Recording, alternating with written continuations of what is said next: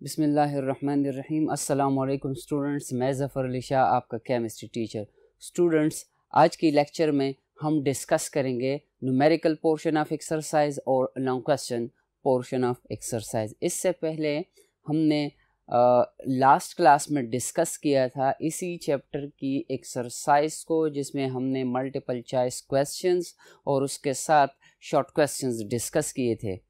ठीक है students start ले लेते हैं न्यूमेरिकल नंबर फ़र्स्ट से स्टूडेंट्स यहाँ पर क्वेश्चन सिर्फ़ बताया गया है आपको मतलब उसका कुछ पोर्शन लिखा गया है। बाकी जब इंशाल्लाह आप किताब खोल के सॉल्व करने की कोशिश करेंगे लेक्चर सुनेंगे तो आपको अंदाज़ा हो जाएगा कि हम किस क्वेश्चन को सॉल्व कर रहे हैं। क्वेश्चन नंबर वन में पूछा गया है कि गैस है हमारे पास और उसका एक स्पेसिफिक मास है which is under pressure of 760 torr question number one numerical portion में। अब मैथमेटिकल पोर्शन को जब हम सॉल्व करते हैं स्टूडेंट्स तो उसमें हम डेटा देखते हैं कि कौन सी चीज़ें हमें दी गई है गिवन डेटा और रिक्वायर्ड डेटा तो गिवन डेटा यहाँ पर है कि प्रेशर P1 760 टॉर है। ठीक है? और 760 टॉर पर इसका वॉल्यूम जो है 525 सेंटीमीटर क्यूब्स है। स्मॉलर यूनिट ऑफ़ वॉल्यूम है सेंटीमीटर क्यूब अगर इसको हम डीएम क्यूब में या डेसीमीटर क्यूब में कन्वर्ट करेंगे, जो कि बड़ा यूनिट है तो उसको हम थाउज़ेंड पे डिवाइड करेंगे। और फाइनल प्रेशर है डबल्ड क्वेश्चन में कहा गया है कि अगर प्रेशर को डबल किया जाए तो वॉल्यूम फिर क्या होगा?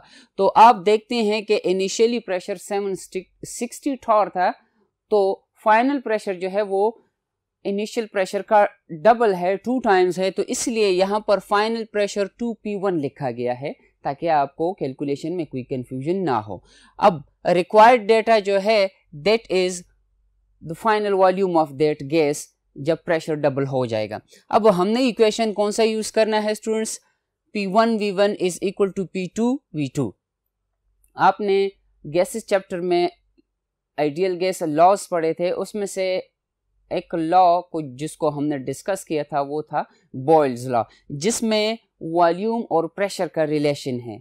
Volume of a gas is inversely related to the pressure तो अब इनिशियल और final states of a gas के लिए बॉयल्स लॉ का स्टेटमेंट कुछ इस तरह है कि P one V one is equal to P two V two अब इसमें आप देख देख सकते हैं स्टूडेंट्स पी वन हमें दिया गया है।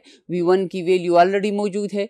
पी टू की वैल्यू ऑलरेडी मौजूद है। We are calculating the final volume तो इक्वेशन को जब हम रीअरेंज करते हैं तो हमारे पास इक्वेशन कुछ इस तरह बन जाएगा कि final volume in this case that is V two is equal to P one initial pressure multiplied by initial volume V1 divided by P2. P2 is equal to 2P1 क्योंकि इनिशियल प्रेशर का वो two times है। Equation में values insert करने के बाद 760 Tor P1 की जगह पे आ जाएगा। मल्टीप्लाइड बाई फाइव और twenty five centimetre cube V one की जगह पर आ जाएगा स्टूडेंट्स और पी टू की जगह पे हम लिखेंगे टू पी वन तो टू कांस्टेंट वैल्यू है, अपनी पोजीशन पर आ जाएगी। और P1 जो है that is 760 torr simple mathematics है स्टूडेंट्स 760 टॉर को 760 टॉर के साथ कैंसिल कर लें। और 5 और 25 सेंटीमीटर क्यूब को डिवाइड कर लें टू पर तो हमारे पास जो फाइनल वॉल्यूम होगा उस गैस का that is 262.5 centimetre cube this is the answer to the question number first इंतहाई आसान है स्टूडेंट्स जस्ट रिवाइज करे रिकॉल कर ले बॉयल्स लॉ को स्टूडेंट्स जब आप आंसर कैलकुलेट कर लें तो अगर इसको इसी तरह बॉक्स में बंद करेंगे तो ये सूटेबल होगा एग्जामिनर के लिए ये अट्रैक्टिंग होगा। क्वेश्चन नंबर टू में पूछा गया है स्टूडेंट्स हमसे कि हाइड्रोजन गैस का डिफ्यूजन रेट जो है एक पोरस प्लेट है। पोरस प्लेट का मतलब ये है कि जिसमें पोर्स हो, बारीक सुराख हो उसमें। तो उससे हाइड्रोजन गैस की डिफ्यूजन की स्पीड जो है दैट इज़ 500 सेंटीमीटर पर मिनट एक मिनट में 500 सेंटीमीटर डिस्टेंस कवर करता है हाइड्रोजन टेम्परेचर उस वक्त है ज़ीरो डिग्री सेल्सियस या कैलवन स्केल पर वो 273 कैलवन के बराबर होगा। ठीक है स्टूडेंट्स आपको पता है कि जब हम सेल्सियस स्केल से केल्विन स्केल में जाते हैं तो हम सेल्सियस स्केल पर जो वैल्यू है टेम्परेचर की, उसके साथ 273 ऐड करते हैं। तो 0 प्लस 273 इज़ इक्वल टू 273 अगर 25 डिग्री सेंटीग्रेड हो 25 हो तो 25 plus 273 is equal to 298 Kelvin और ये कैलकुलेशंस हमने एब्सोल्यूट ज़ीरो चार्ल्स ला की एक्सप्लेनेशन में हमने की थी। तो स्टूडेंट्स जो गिवन डेटा है from the question number two that is rate of diffusion of hydrogen 500 centimetre और टेम्परेचर ज़ीरो डिग्री सेल्सियस या 273 केल्विन रिक्वायर्ड डेटा है कि calculate the diffusion rate of oxygen calculations board number two पे मौजूद है students आइए देखते हैं. स्टूडेंट्स यहाँ पे जो इक्वेशन यूज़ होगा वो ग्राहम्स लॉ का इक्वेशन यूज़ होगा। जिसका स्टेटमेंट और मैथमेटिकल फॉर्म आपको पता है कि जिसमें हमने कहा था कि rate of diffusion of a gas is inversely related to the square root of density या molar mass of that gas तो यहाँ पर दो गैसेस की कंपैरिजन की जा रही है, जिसमें फ़र्स्ट जो है R H is the rate of diffusion of hydrogen gas divided by मैंने आपको बता दिया, रेशो है तो डिवीज़न होगी divided by the rate of diffusion of oxygen gas which is equal to inverse relation है। तो ऑक्सीजन का जो मोलर मास है स्क्वायर रूट के अंदर, वो ऊपर जाएगा, ठीक है? नॉमरेट नॉमरेटर में और डी नोमरेटर में हमारे पास फिर मोलर मास ऑफ़ हाइड्रोजन आ जाएगा।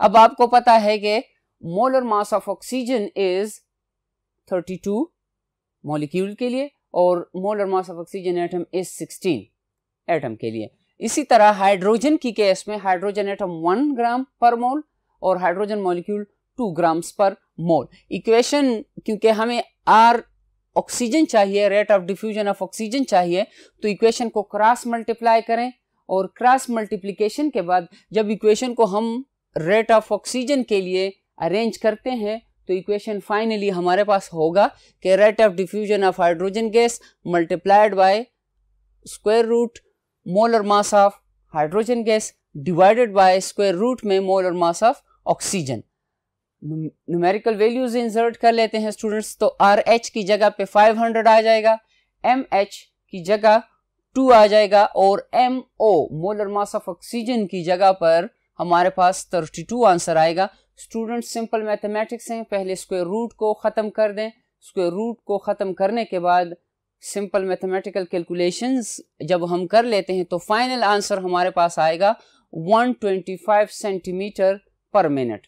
इसका मतलब ये हुआ कि ऑक्सीजन, क्योंकि हाइड्रोजन से हैवियर है, हाइड्रोजन का मोलर मास है टू ग्राम्स पर मोल और ऑक्सीजन का मोलर मास है 32 ग्राम्स पर मोल तो हाइड्रोजन 500 सेंटीमीटर डिस्टेंस कवर करता है एक मिनट में और ऑक्सीजन 125 सेंटीमीटर डिस्टेंस कवर करेगा। क्यों? क्योंकि हाइड्रोजन की डेंसिटी कम है ऑक्सीजन से। या दूसरे अल्फाज में molar mass of hydrogen is less than the molar mass of oxygen students इसी क्वेश्चन को यूज़ करते हैं हम। मोलर मास भी इससे हम कैलकुलेट कर सकते हैं, अगर बाकी वैल्यूज़ हमारे पास मौजूद हो।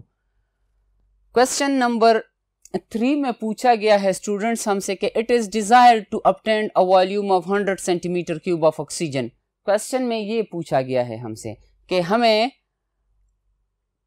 thousand centimetre cube volume required है। ठीक है स्टूडेंट्स क्वेश्चन का डेटा और उसमें फिर रिक्वायर्ड डेटा और गिवन डेटा कुछ इस तरह है।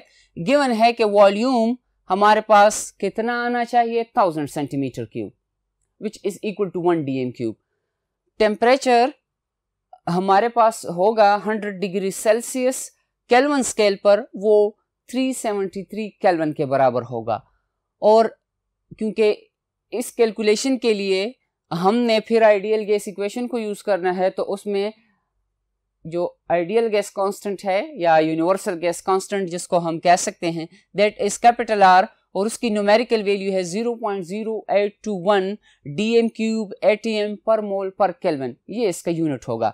और प्रेशर 640 मिलीमीटर्स ऑफ़ मरकरी है। स्टूडेंट्स इक्वेशन हमने यूज़ करना है कौन सा?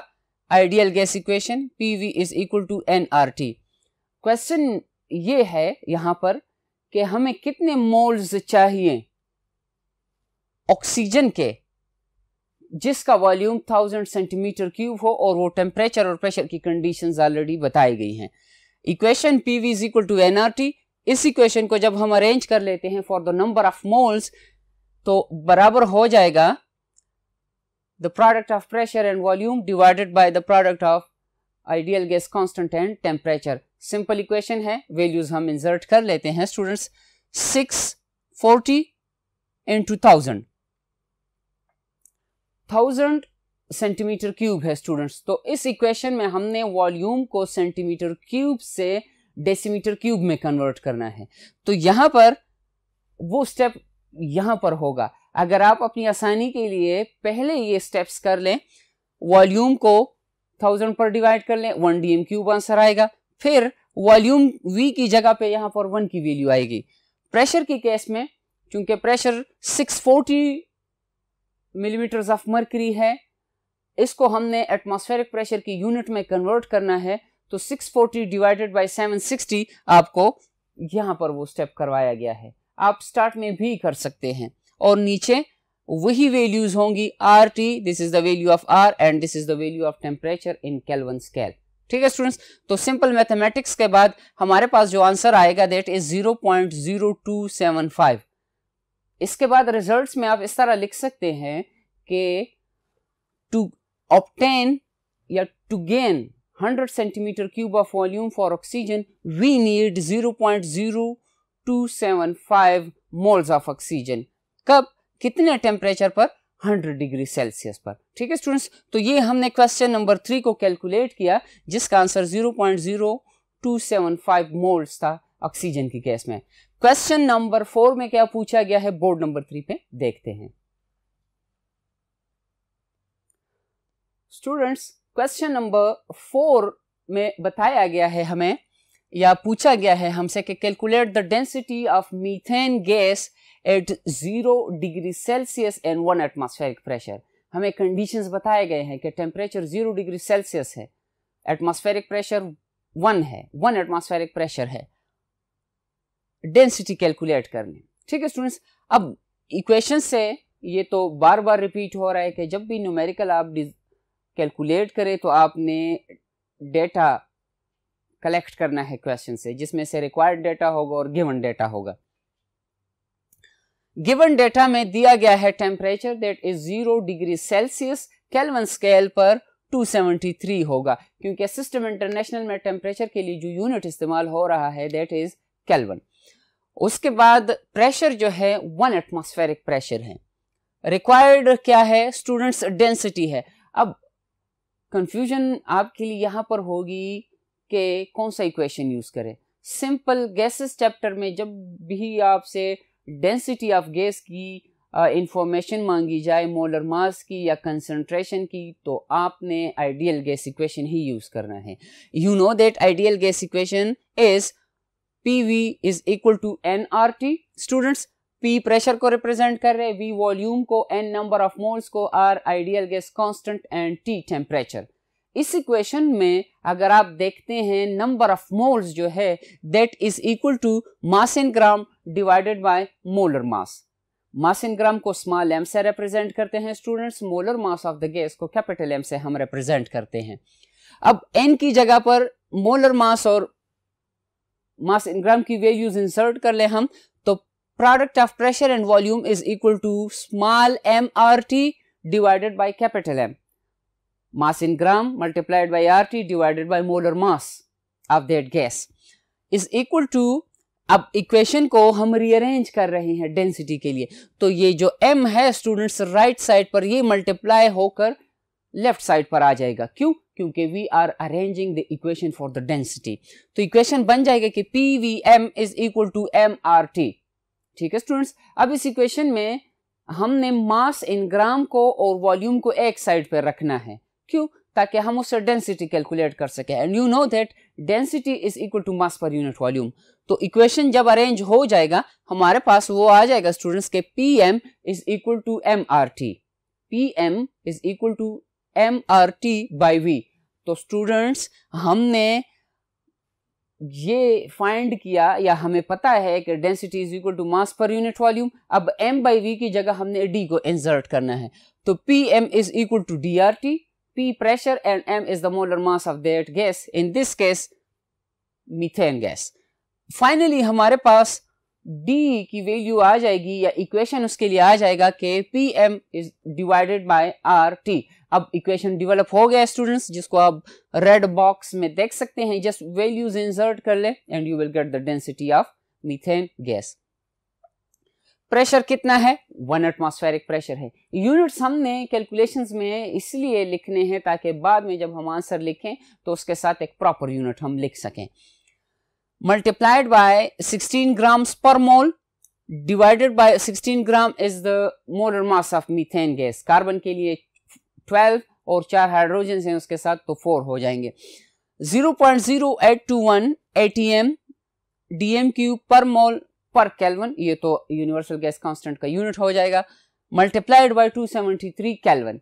तो केल्विन और केल्विन आपस में कट जाएँगे स्टूडेंट्स पर मोल और पर मोल ये दोनों खत्म हो जाएँगे एटीएम और एटीएम खत्म हो जाएँगे जस्ट ग्राम पर डीएम क्यूब का यूनिट रह जाएगा which is the unit of density और सिंपली हमारे पास ज़ीरो डिग्री सेल्सियस पर at one atmospheric pressure the density of methane gas is zero point seven one three nine grams अगर one DM cube हो तो उसका मास कितना होगा? Zero point seven one three nine gram होगा। ये था स्टूडेंट क्वेश्चन नंबर फोर और इसी पोर्शन का आखिरी नोमेरिकल जो है that is question number five और उसमें पूछा गया है कि a sample of krypton gas है ज़ीरो ग्रुप एलिमेंट है ये with a volume of six two six point two five D M cube question आप देख लें पूरा। उसका जो डेटा हमने कलेक्ट किया है, वो हमें क्या इंफॉर्मेशन दे रहा है? गिवन इनिशियल वॉल्यूम कितना है V one that is six point two five decimetre cube initial pressure कितना है? That is seven sixty five torr और इनिशियल टेम्परेचर कितना है students twenty degree Celsius kelvin scale पर टू नाइनटी थ्री कैलवन होगा। Volume final volume कितना है? Nine point five five decimetre cube है। फाइनल प्रेशर कितना है? 375 टॉर है। मांगा गया है हमसे कि उस वक्त टेम्परेचर कितना होगा। क्वेश्चन डेटा से अब हम कैसे क्वेश्चन बनाएँगे? हमें बताया गया है कि किसी क्रिप्टान गैस का वॉल्यूम 6.25 है। प्रेशर 6765 टॉर है। उस वक्त टेम्परेचर 20 है। अगर उसकी वॉल्यूम को हम कन्वर्ट कर लें 9.55 डीएम क्यूब में, उस वक्त प्रेशर कितना होगा? 375 होगा। मांगा गया है कि टेम्परेचर उस वक्त कितना होगा? तो जब हम आइडियल गैस को अरेंज करते हैं, लिखते हैं for initial and final states तो उसमें से आर दोनों में कांस्टेंट है। तो इनिशियल स्टेट में और फाइनल स्टेट में आर कांस्टेंट है कॉमन है सेम है। तो इक्वेशन हमारे पास फिर रह जाएगा जब हम कंपैरिजन कर लेंगे। ठीक है? दोनों इक्वेशंस को। For the final states and initial states ये कैलकुलेशन की गई है ऑलरेडी किताब में डिस्कशन की गई है आपके साथ। P one V one divided by T one is equal to P two V two divided by T two P one V one and T one are the pressure volume and temperature initial state के लिए और P to final state के लिए। इसी तरह V2 और T2 भी। Equation जब अरेंज हो जाएगा तो वो रह जाएगा T2 is equal to final pressure multiplied by final volume multiplied by initial temperature divided by final initial pressure multiplied by initial volume तो स्टूडेंट्स ये इक्वेशन आप यूज़ करेंगे वैल्यूज़ इंसर्ट कर लो you will get the answer ठीक है students इसलिए ये equation यहाँ पर आपकी समझ के लिए मैं डेटा और रिक्वायर्ड डेटा आपको बता दिया मैंने, लेकिन कैलकुलेशंस आपने खुद करनी है यहाँ पर, क्योंकि इससे पहले हम जो चार क्वेश्चंस कैलकुलेट कर चुके हैं, उसमें तकरीबन यही सारी बातें ऑलरेडी डिस्कस की गई है आपके साथ। ठीक है स्टूडेंट्स एक्सरसाइज का जो नेक्स्ट पोर्शन है दैट इज़ डिस्क्रिप्टिव क्वेश्चन या जिसको हम लॉन्ग क्वेश्चन कह सकते हैं, वो डिस्कस करते हैं। आइए बोर्ड नंबर वन की तरफ़ चलते हैं। स्टूडेंट्स न्यूमेरिकल पोर्शन डिस्कस करने के बाद हम डिस्कस करेंगे लॉन्ग क्वेश्चंस को। लॉन्ग क्वेश्चंस में तकरीबन सारे वही क्वेश्चंस हैं जो हम टॉपिक्स में डिस्कस कर चुके हैं। ठीक है स्टूडेंट्स तो वजाहत होगी ओरली थ्योरेटिकली बाकी इंशाल्लाह जब आप चैप्टर रीड करेंगे, आपको एक्सरसाइज हल करना फिर आसान होगा।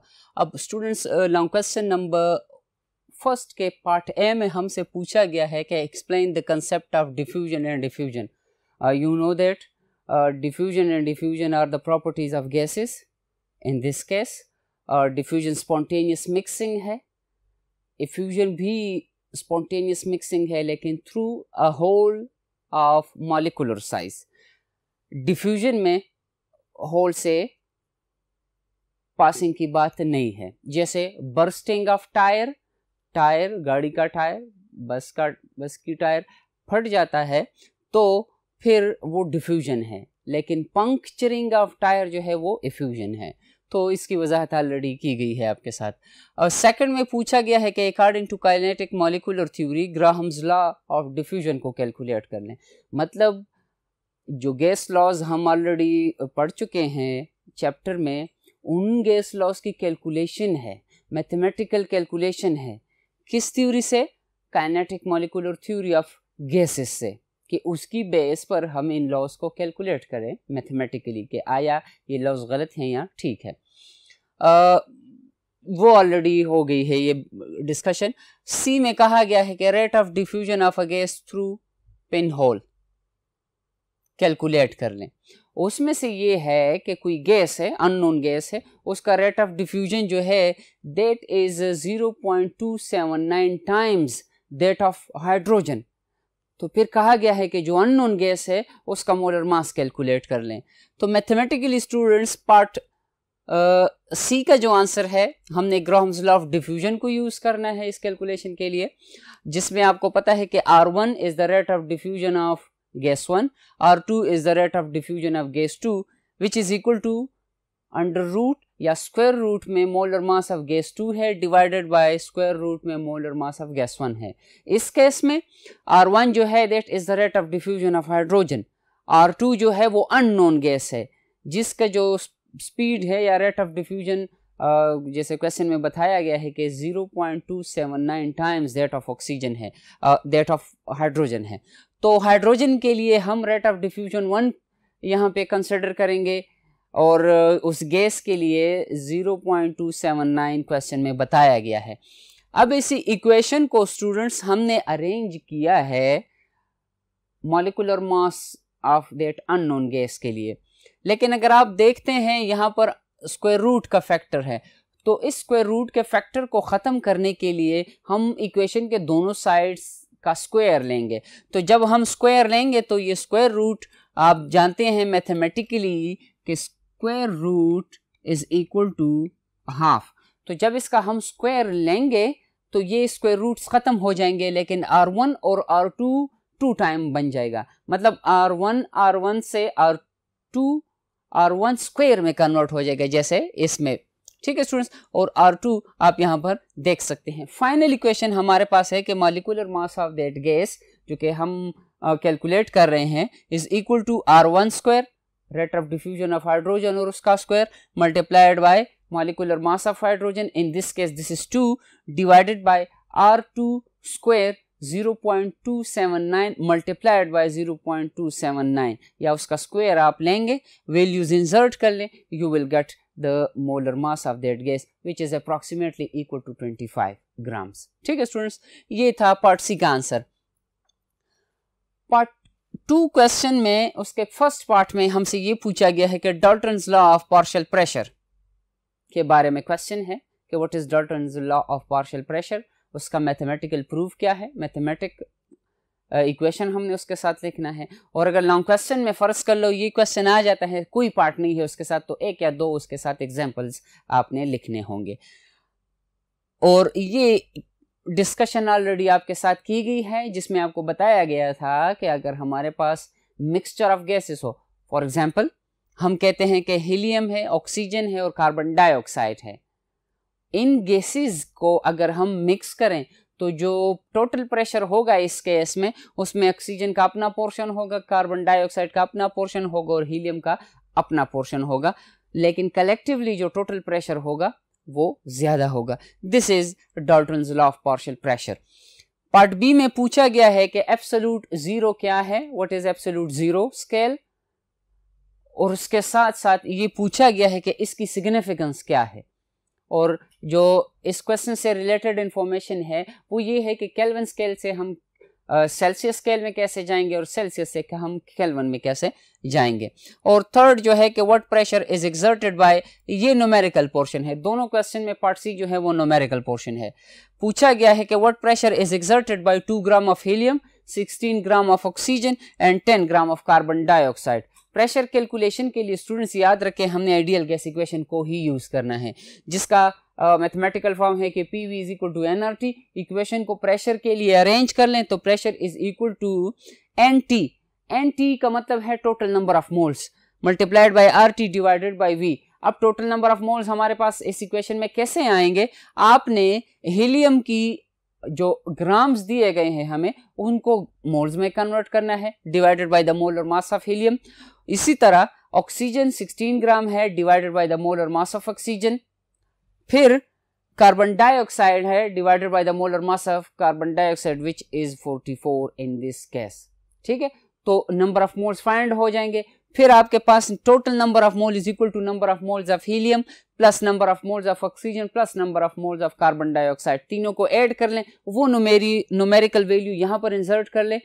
आइडियल गैस की वैल्यू 0.0821 टेम्परेचर की वैल्यू दी गई है क्वेश्चन में। वॉल्यूम आपको दिया गया है क्वेश्चन में। सिंपल मैथमेटिक्स है, कैलकुलेट कर लें। ठीक है, स्टूडेंट्स? क्वेश्चन नंबर थ्री में क्या पूछा गया है? आइए बोर्ड नंबर टू पे देखते हैं।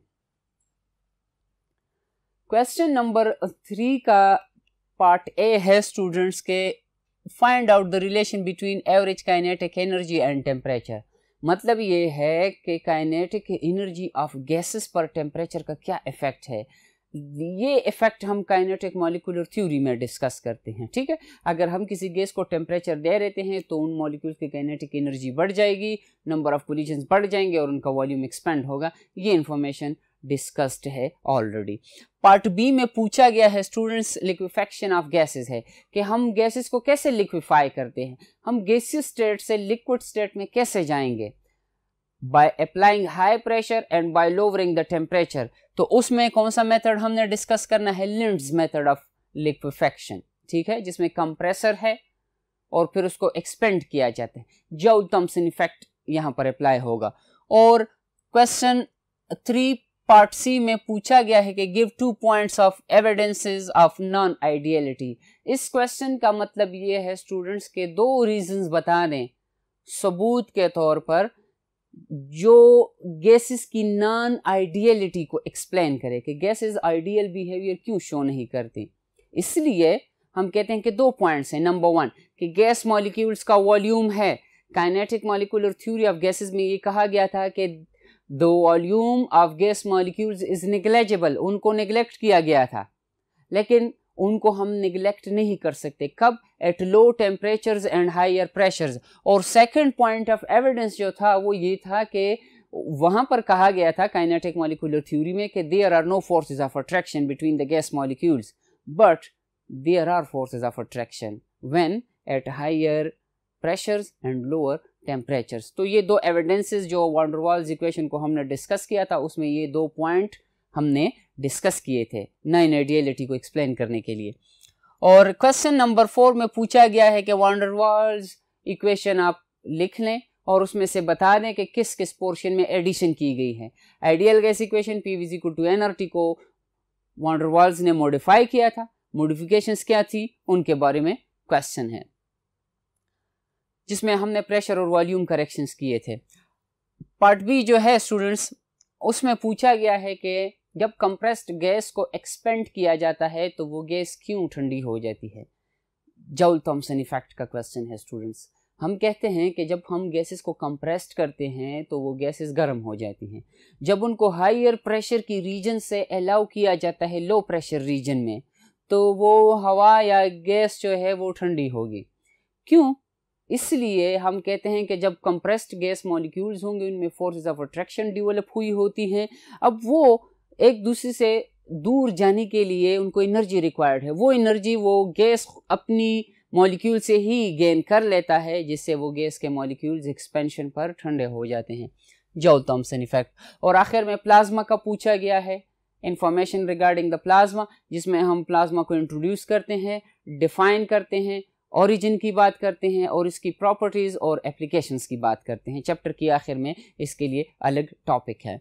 और आखिरी क्वेश्चन जो है स्टूडेंट्स पूछा गया है हमसे कि what are the statements what are the points और postulates of kinetic molecular theory of gases हमने तकरीबन आठ नौ पॉइंट्स डिस्कस किए थे। चैप्टर की स्टार्ट में मौजूद हैं। पार्ट बी में ग्राहम्स लॉ डेरिवेशन की बात की गई है कि how you can derive Graham's law of diffusion from kinetic molecular theory of gases यही क्वेश्चन लॉन्ग क्वेश्चन की स्टार्ट में भी दिया गया है मतलब ये रिपीटेड है।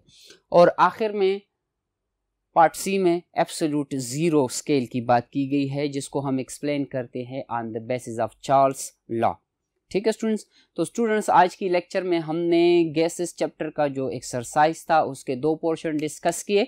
जिसमें नोमेरिकल पोर्शन था और लॉन्ग क्वेश्चन या डिस्क्रिप्टिव क्वेश्चन थे। उसमें से हमने दो न्यूमेरिकल्स कैलकुलेट किए। इन स्टूडेंट्स नेक्स्ट लेक्चर में नए टॉपिक के साथ हाजिर होंगे। तब तक के लिए अल्लाह हाफिज़।